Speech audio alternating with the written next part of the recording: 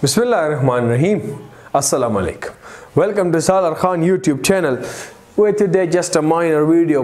I am also in a little hurry and the topic is also small. First, the half wave rectifier that we saw. So I took the example uh, I used the, uh, the the ideal diode. Let me say if we use a practical diode. So so basically half wave rectifier was what a sinusoidal input and then this is the diode and the, the output is taken across this resistor RL with a plus minus polarity V output. So in the half, in, the positive half, let's say if I consider the polarity, this is my plus, this is my minus. So if I now have like this, plus to minus V input, I include the barrier potential plus to minus, I include the resistance of the diode as RD as well. Fine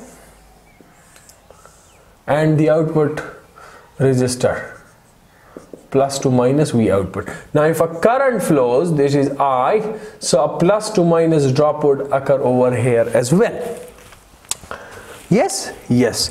So which means you have, uh, if I apply a, a, this KVL, VI, so minus VB minus I times the resistance of the diode and then this is equal to V output or I say V output is equal to uh, 0 minus V output is equal to 0 now what can I further do? I could further find out the value of current from here right?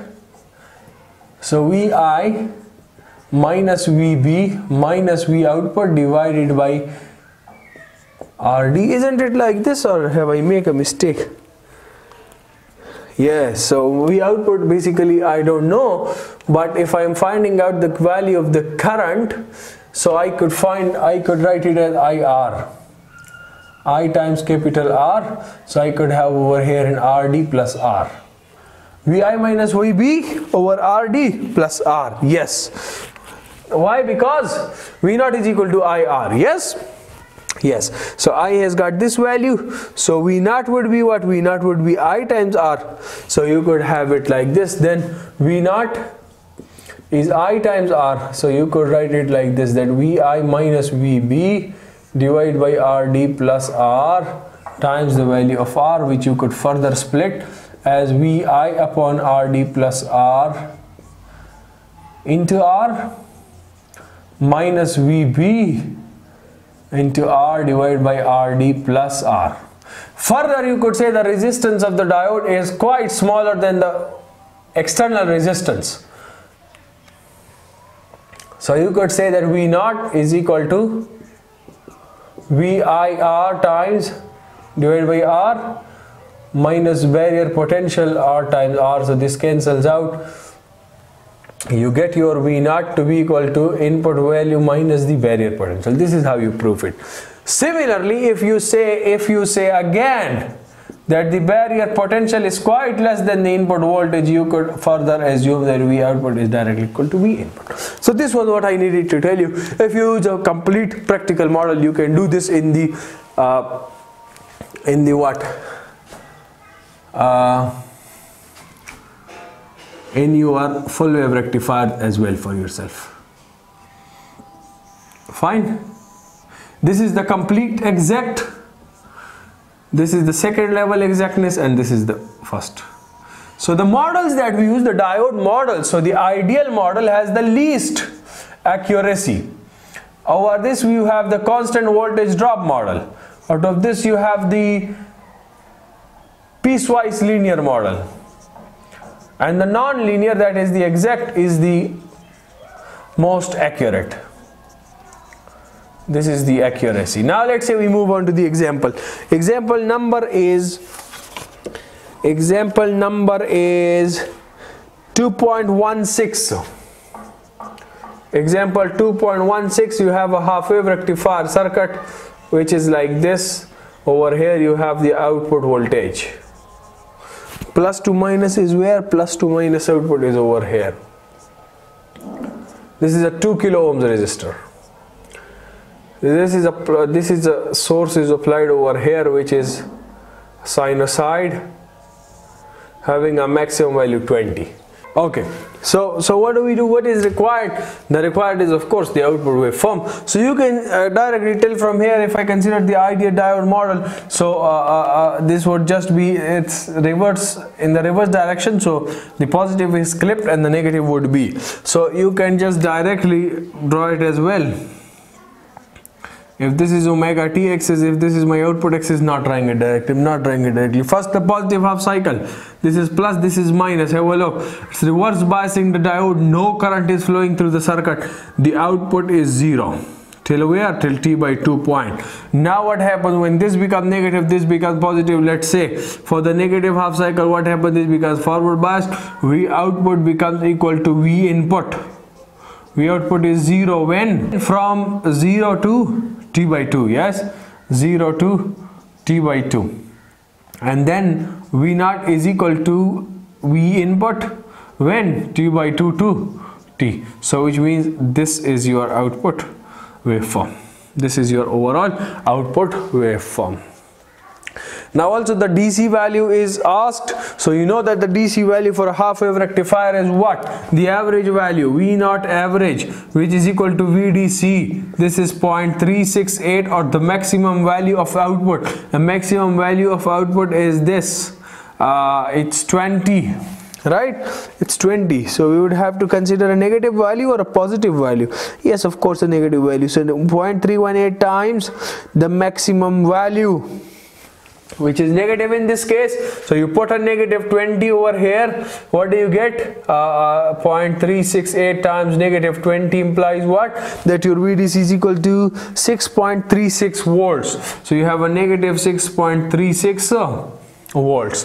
This is your VDC the DC level will lie somewhere over here.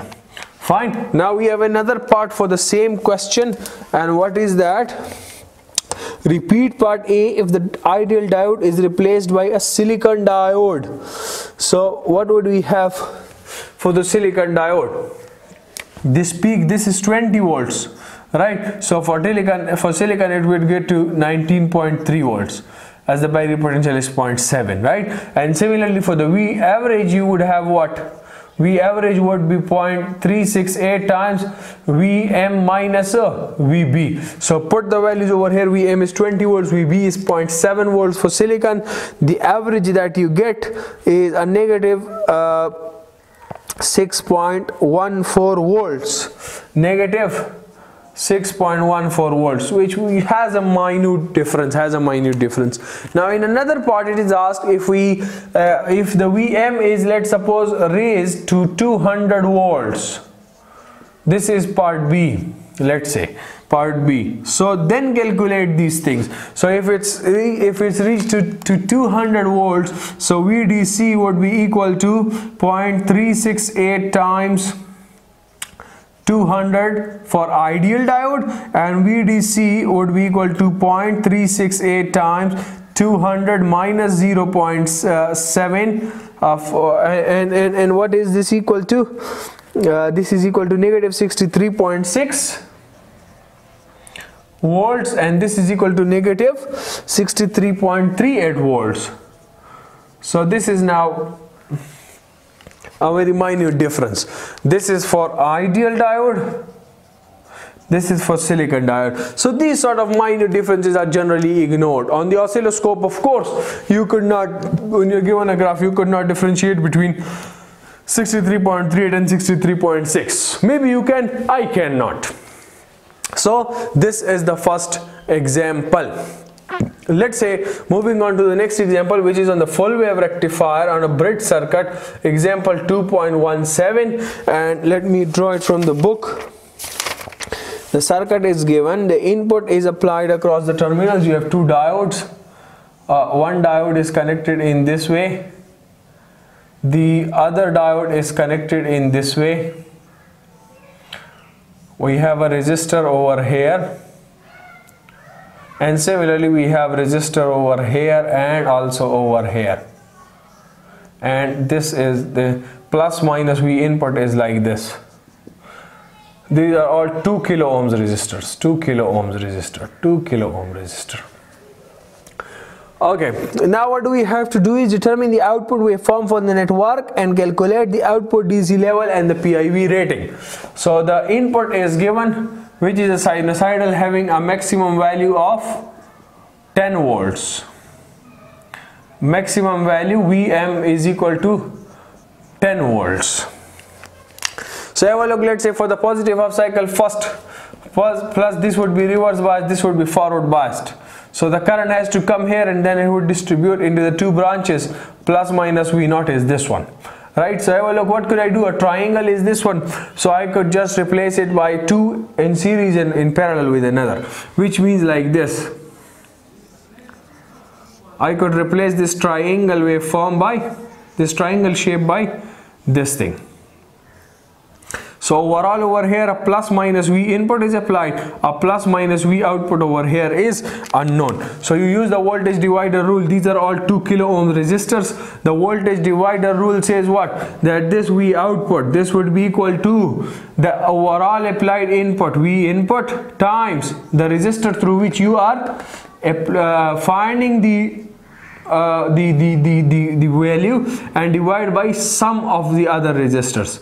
So this would be equal to 2 times V input divided by 4 and let uh, letting considering the maximum value. So the maximum value over here is 10 so 10 twos are 20 20 divided by 4 is a 5 volts. So the output would be a 5 volts fine? Yes. Similarly for the negative half cycle what would happen for the negative half cycle? Uh, this diode would conduct and again the same thing. We have the same thing the same output. The polarities you know very well. Output would be again equal to 5 volts. This is for the positive cycle and also for the negative cycle it would be 5 volts. So if I draw it over here so if this is my t axis this is my output axis. So this would be like this this is t by 2 this is t. The maximum value this is 5 volts. This considering ideal diodes. If you have the barrier potential involved 5 minus 0.3 for germanium 5 minus 0.7 for silicon you could do whatever you like to do. The dc value would be what? Vdc vdc is 0.368 times V maximum output. The maximum output voltage is 5 volts and this value comes out to be 3.18 volts. 3.18 volts which would lie somewhere over here. Let's say this is your V DC level 3.18 volts. The next thing that is asked is the PIV rating of the uh, of the voltage uh, of this. So the PIV rating is what? It's the maximum voltage that can be applied in the reverse bias state. So the maximum voltage for a bridge circuit PIV is what? For a bridge circuit it's equal to Vm and Vm the output voltage. And this Vm is basically representing the output voltage okay?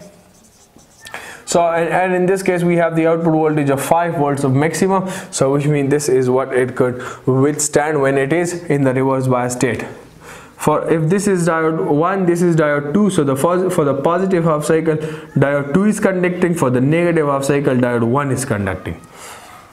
So which means PIV for diode 1 is 5 volts.